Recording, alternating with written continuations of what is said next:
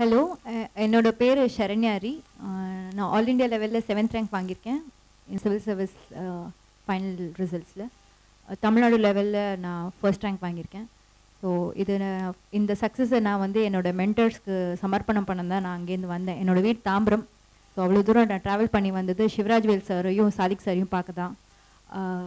என்னோட நான் ஸ்மார்ட் லீடர்ஸில் தான் சோஷியாலஜி படித்தேன் என்னோடய optional subject Sivarajavel sir has been more than a family ஒரு ஃபேமிலி சப்போர்ட் கொடுத்தது சார் தான். வந்து ஒவ்வொரு கொஷின்ஸ்க்கும் எழுதுனதுக்கப்புறம் பர்சனலாக ஃபீட்பேக் கொடுத்து இந்த மாதிரி பண்ணுங்க இந்த மாதிரி பண்ணக்கூடாது அப்படிங்கிற உங்க உங்களோட பர்சனலைஸ்டு ரைட்டிங் ஸ்டைல்ஸை வந்து என்ஹான்ஸ் பண்ணது ரிஃபைன் பண்ணது சார் தான் சோஷியாலஜியை பொறுத்த வரைக்கும். I wrote sociology test batch sir கிட்ட. ஸோ அதனால என்னோட சோஷியாலஜி கொஞ்சம் ஸ்ட்ராங் ஆனதுக்கு காரணம் சார் தான்.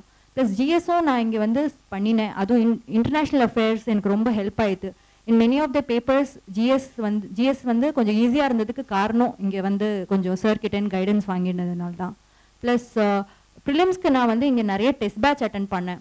ஸோ டெஸ்ட் வந்து ரேப்பிட் ஃபயர் மாதிரி டெஸ்ட் எழுதி எழுதி அதோட ஃபீட்பேக் கிடைச்சாதான் நம்மளுக்கு வந்து ஒரு ஐடியா கிடைக்கும்.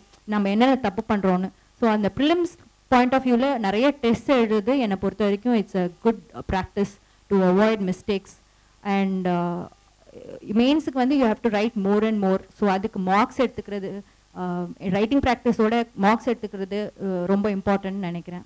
So I would like to thank sir for giving me this opportunity and also giving me this opportunity to stay stand at this stage so ரெண்டுத்துக்கும் நான் சாரை தான் தேங்க் பண்ணும். Thanks a lot thanks to Smart Leaders thank you